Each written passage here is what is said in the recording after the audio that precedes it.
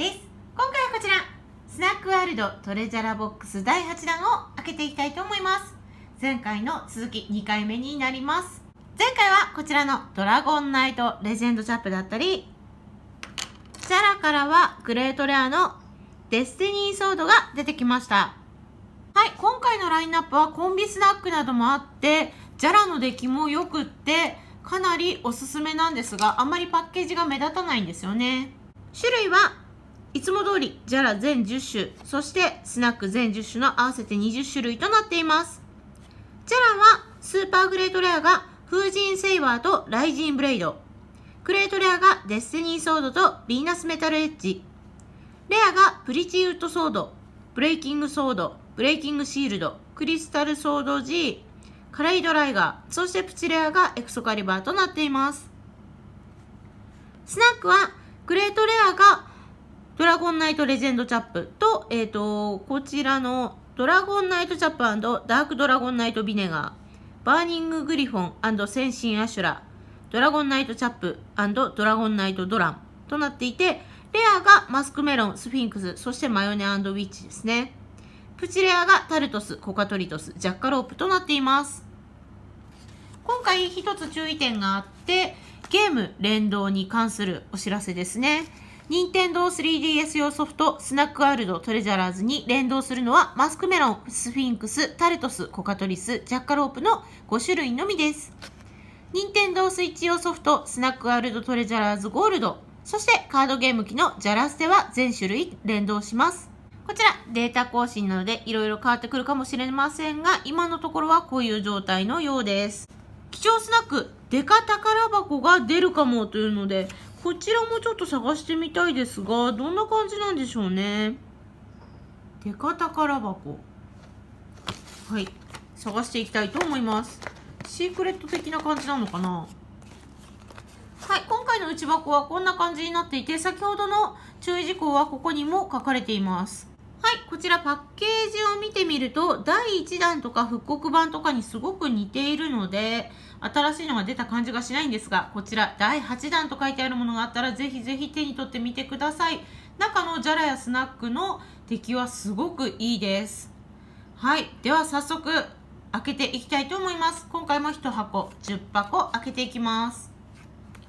前回はジャラとスナックそれぞれ5種類ずつ出てきたんですが今回もそうかな？どうでしょうね？はい見ていきます。中を開けてみるとスナックワールド講座がついてますね。はいビネガー。大陸を蝕む悪の大商人。自社の装備品を流通させるためモンスターを利用する策略家。ダークドラゴンナイトとして闇と契約しているぞと書かれています。はいそしてこちらは稲妻イレブンの紹介。ここに入っています。あ1個目はじゃらっぽいですね。あくっついてるのはビネガーかな？ビネガーと歌子かな？今回はオレンジのマスコットがついています。はい。ビネガーと歌子で合ってますね。こんな感じ。ではジャラを開けていきましょう。触った感じだとあかぶったかも。シールドっぽい感じの手触り。どうかな？あ正解。シールドでした。こちらカレイドライガーですね。はい大きいんですが軽くてちゃんとしっかり厚みもあってこの表面の部分がクリアパーツになっているのですごく高級感がある感じでいいんですよね。デザインがすごくかっこいいなと思いました。はい。中身はね順番は違えど中身が全く同じってこともあるのでドキドキ。次はどうかな？はいこちら。大陸横断鉄道。スナックワールド講座。大陸を大きく一周走る列車で普通なら通れない。魔性壁を越えられる移動手段。乗車券が2000万ギランと超高額だがいろいろな場所に行けるため冒険者ならみんな欲しいチケットだと書かれています。ゲームの中では結構重要な感じになるのかな？続いてはスナックかな？ジャラかな？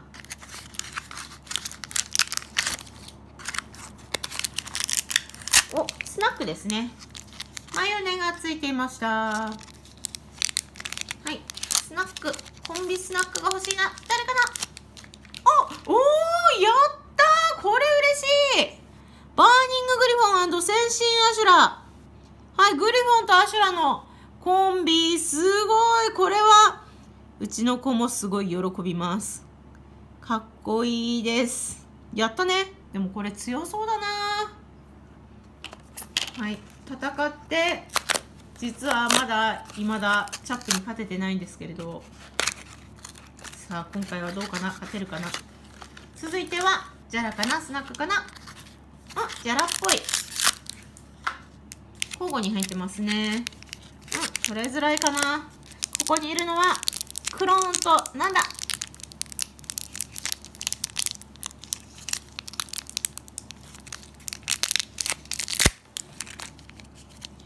はいまたビネガーかな？ビネガーですね。ビネガーと今度はクローンが入ってます。はいジャラかな？スナックかな？ジャラですね。あーこれは！はいもう分かる人は分かったよね。じゃじゃーん。エクソカリバー。はい。もううんちくまを思い出す感じのデザインと色ですね。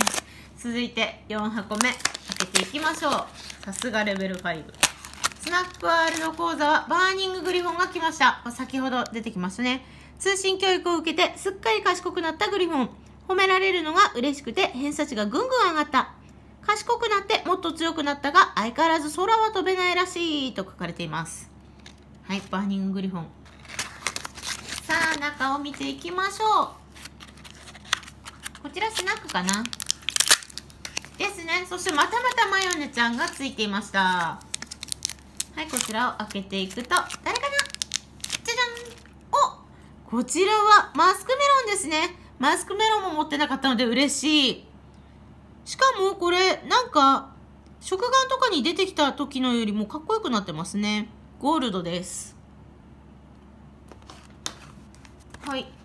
続いて右が最後になります。5個目ですね。ジャラが来るかスナックが来るか。この流れだとジャラなんですがどうでしょうか。はい。見た感じスナックですね。はい。スナックワールド。こちらスナックワールド講座を先に見ていきます。夢と冒険の聖地と呼ばれていてドラゴンだっているし便利なスマホはみんな持ってる。そんな生かした世界なんだ。いろいろな国や大陸があって中には魔法の技術が進んでいる王国もと書かれています。はいまたやんないかなスナックワールド。秋ぐらいにやるって聞いてたんですが始まりませんね新章。待ってます。はい。スナックは誰が来るかな？あと来てないのはタルトスかな？はい誰が来るかな？あコカトリス。コカトリスは持ってるね。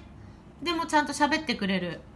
確実に喋ってくれるキャラなのでいいです。とっても可愛いです。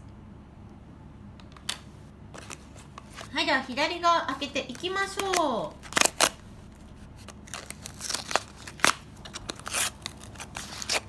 あスナックワールド。先ほどと同じ文章が書かれていますね。うまく開かない。うまく開かない。はいこの中に入っているのはジャラかスナックか。スナックっぽい？あジャラですね。ジャラジャラ。であおねーのやつがついていて。なんか背中のあたりにもいる。誰だろう？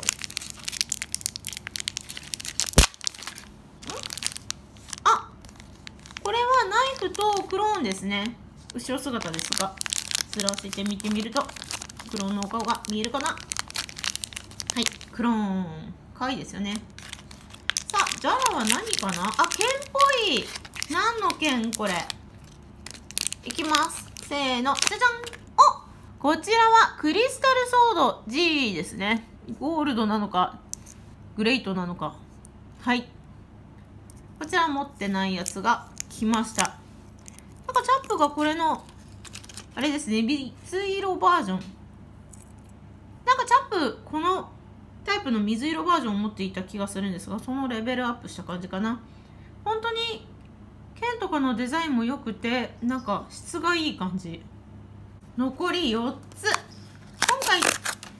左側は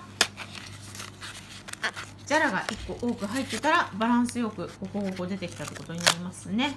さあ続いては先進アシュラが出てきました。ビネガーの洗脳電波を受けて感情を失い見た目も変わって凶暴化したアシュラ。相手が誰でも吹き飛ばすぞ。近づくものをダークサイドに取り込む力も持つというがと書かれています。なんかこれ新しい、えーと、シリーズが始まったらまたお話も出てきそうな感じはするんですけどね。こちらはスナックですね。スナック残り出てないのまだまだあるんですがうんとさっきグレートレア1個出たからな。グレートレアは出ないかな。後ろについていたのはボブさん。さあ誰が出てくるかな。せーのじゃん。あスフィンクスでした。スフィンクス。では続いて開けていきましょう。8箱目になります。何かな？何かな？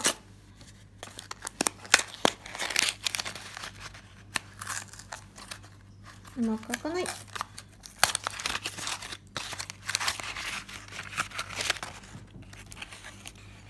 はい、スナックワールド講座は五右衛門。伝説の鍛冶師五右衛門の5代目。女子高生だが、その腕前はすでに4代目五右衛門を超えているという。ダサいのは嫌いで今風が好み。グレート飛空艇スカイパラクーダの作成式をして完成させたと書かれています。そっか、この子が家事をしているからいいデザインになったんですね。はい、中から出てくるのはジャラ。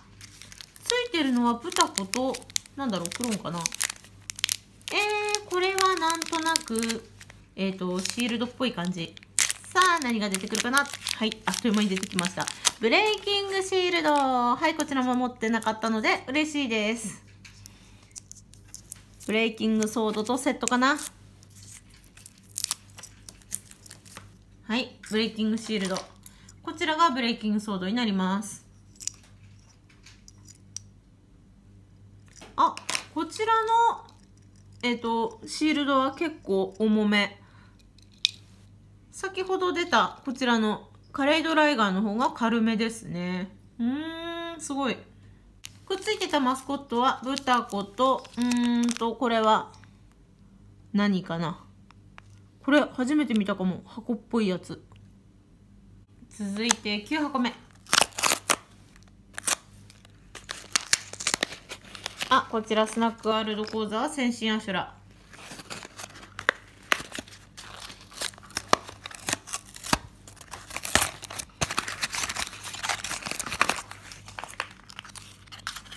ちらから出てくるのはスナックですね。スナック。後ろはマヨネ。さあ、誰だ？いきます。せーの、じゃじゃんおおタルトスが来ました、やったーはい、ということで、プチレアは3種類揃いました。前回と今回で、タルトス、コカトリス、ジャッカロープが揃いました。やったね。はい、ラストはジャラじゃないかなと思ってるんですが、どうでしょう？ジャラが出てきたら5個ずつ、5個ずつですが、ここでスナックが来たらちょっとスナックの方が多めの偏りの箱だったかなという感じになります。はい、こちらのスナックアル講座はバーニンググリフォン。こちらも見ましたね。はい、中は、あ、ジャラでした。さて、何のジャラが来たかな？お、くっついていたのは、おー、ヴィンサント、ドラゴンナイト・ヴィンサントとドラゴンナイト・チャップかな。こちらのマスコットもちょっとレアっぽい感じで、かっこいい。そして後ろにブタコまでついてる。おー、いいですね。中のジャラは何かな？何かな？いきます。あー、こちらはかぶっちゃった。はい。グレートレアのデスティニーソードでした。はい、ということで、狙っていた風神セイバーライジンブレイドは出ませんでしたね。やはりこちらはスーパーグレートレアのジャラ、なかなか出ないみたいです。今回出たグレートレアはデスティニーソードとバーニンググリフォンセンシンアシュラ。はい。こちらのドラゴンナイトチャップドラゴンナイトドランとか、えっ、と、ドラゴンナイトチャップダークドラゴンナイトビネガーなどもとっても強そうなので、もし見つけたらぜひぜひゲットして見てみてください。はい。2箱開封して揃ったジャラとスナックがこちら。スナック8種類、そしてジャラ7種類が揃いました。割と悪くない感じだったんじゃないかなと思います。はい、今回は、えっ、と、喋るじゃら、喋らないじゃら、喋るスナック、喋らないスナックあるので、一通り一気に聞いてみたいと思います。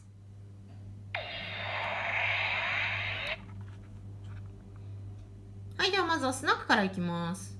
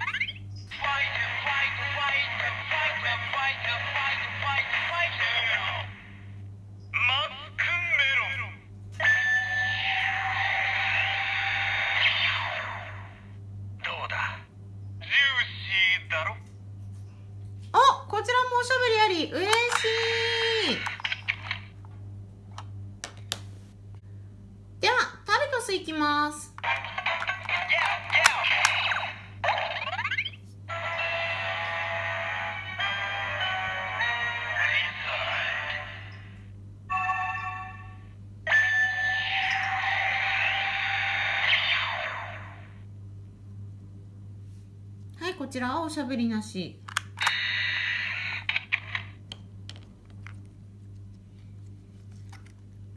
スフィンクス。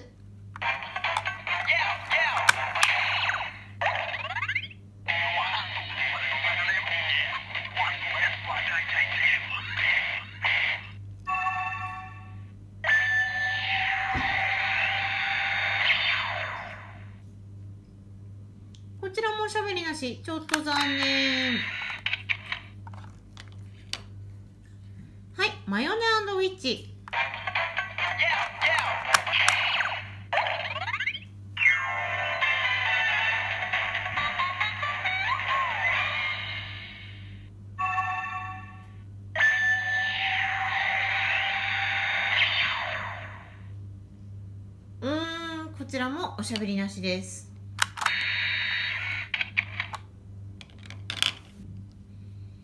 はい。じゃあ確実に喋ってくれる可愛いコカドリス聞いていきましょう。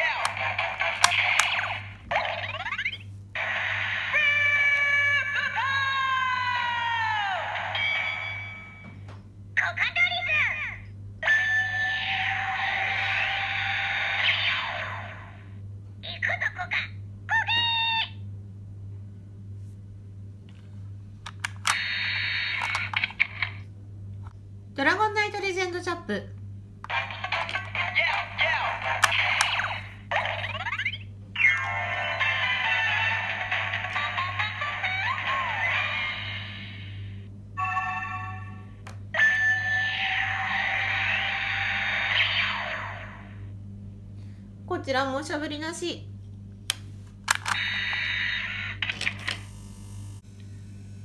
はい、ということはこちらも怪しいかなバーニンググリフォン戦神アシュラ。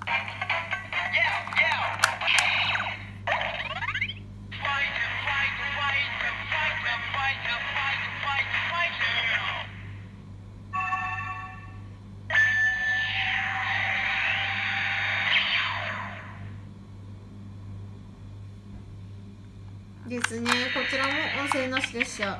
ゲームの中では聞けるかもしれません。では、じゃらいきます。エクスカリバー。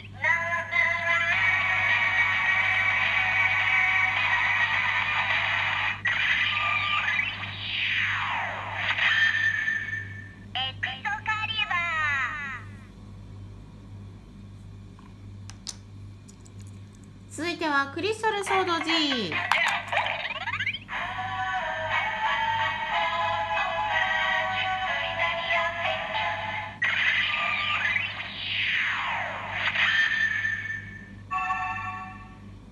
あ、こちら製品の音声はありませんでした。続いてはカレードライナー。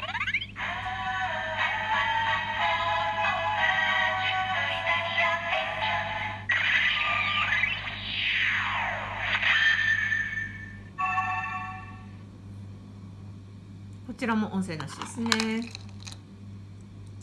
はい。ブレイキングシールド。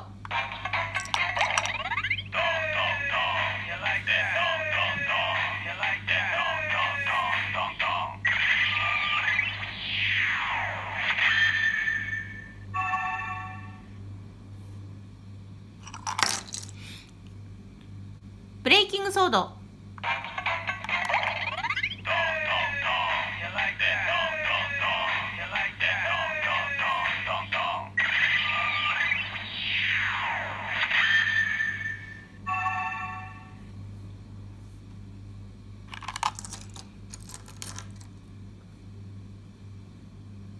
ちらは前回出たこちらは前回出たものですね。ブリーチウッドソード。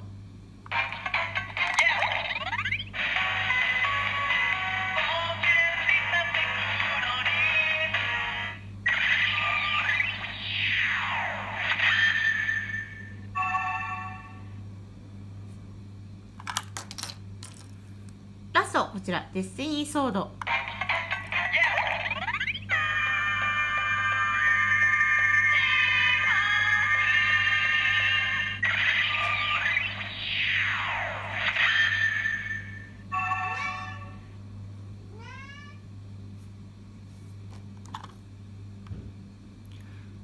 ちらデスティニーソードは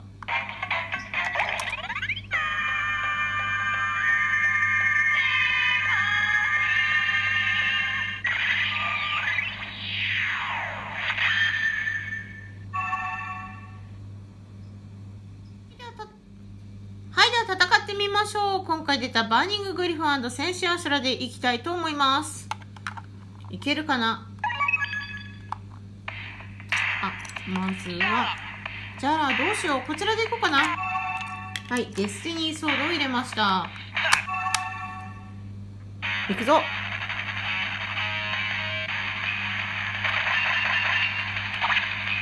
早っ。えー、なんで感知してくんないの？怖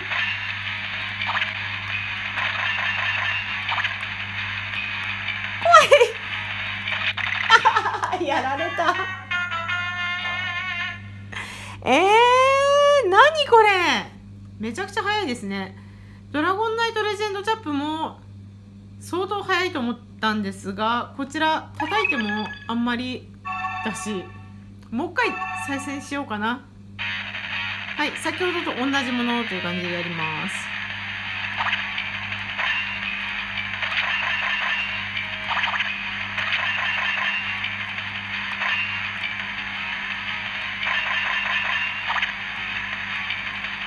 早すぎて全然反応しなくない？もう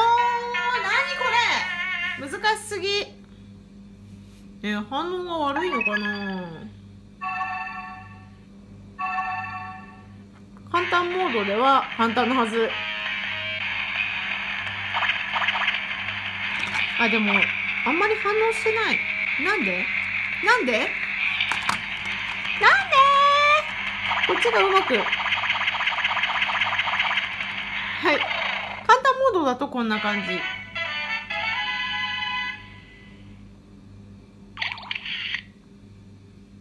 い。ただ簡単モードで勝ってもマナーへの書き込みがないのでまあちょっと大変なんですが難しいモードで頑張ってクリアしてやってみてください。ちょっと乾燥してる状態だとこのボタン反応しないのかも。